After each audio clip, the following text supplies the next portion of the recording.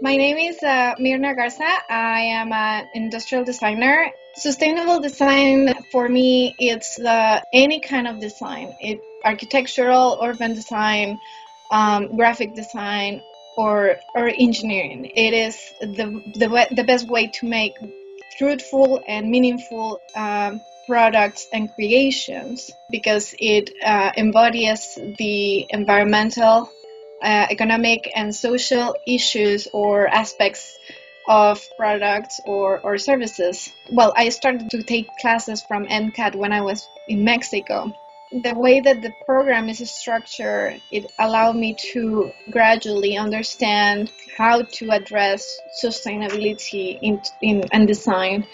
It's not just the learning experience of sustainability, but it's also a learning experience of, of yourself. I think that's important about sustainability that we have to think about all these issues before just just saying, well, yeah, produce it, and I don't care where it goes.